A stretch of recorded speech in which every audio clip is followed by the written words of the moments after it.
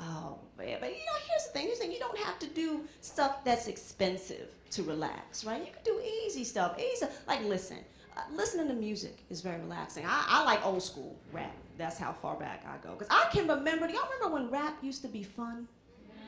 Right? Do you remember when it used to be like throw your hands in the air and wave them like you just don't care, right? Now it's throw your legs in the air.